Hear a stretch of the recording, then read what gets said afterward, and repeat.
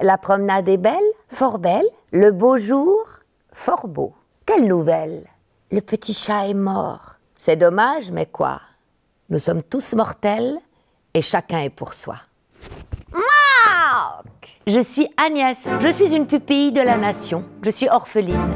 J'ai grandi d'abord dans un couvent et puis j'ai été adoptée par monsieur de la Souche. Il est assez grand, je sais très bien qu'il s'appelle Arnolphe, mais moi je l'appelle toujours monsieur de la Souche.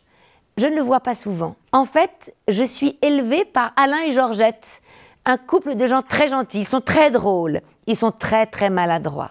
J'habite dans une grande maison avec un grand jardin, tout est merveilleux. Il y a des papillons, il y a des arbres, des fleurs.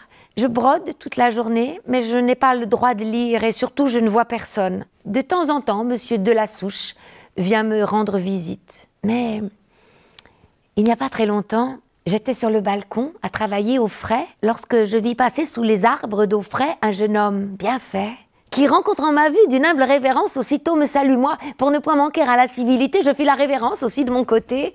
Soudain, il me refait une autre révérence, moi j'en refais de même une autre en diligence, etc., etc. Je suis tombée amoureuse de ce jeune homme, il est très beau, il s'appelle Horace. Mais j'ai compris que Arnolphe était jaloux. Et donc le premier mot d'amour que je lui ai écrit, je l'ai caché dans un caillou et jeté à travers la fenêtre.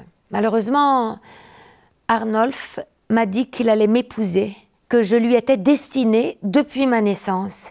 Mais moi, je veux aimer et vivre avec Horace. Heureusement, à l'ultime moment où nous devions nous marier avec Monsieur de la Souche, est arrivée une nouvelle extraordinaire. En fait, je suis la fille d'un monsieur qui s'appelle Henrik, qui vit aux Amériques. Et aujourd'hui, il est d'accord pour que j'épouse Horace. Arnolphe est dépité, il devient fou, il est très malheureux.